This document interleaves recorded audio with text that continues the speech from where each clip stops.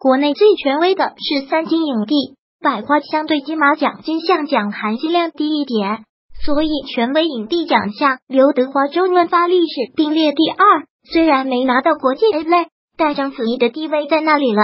欧洲三大多次进入最后的总竞赛单元，虽然没有拿到影后，但不妨碍他的历史地位。华语五大奖超级大满贯仅他一人，整个华语界仅次于张曼玉和巩俐，内地第一人。如果喜欢本视频，请分享并订阅本频道，别忘了按赞哦！哎呦。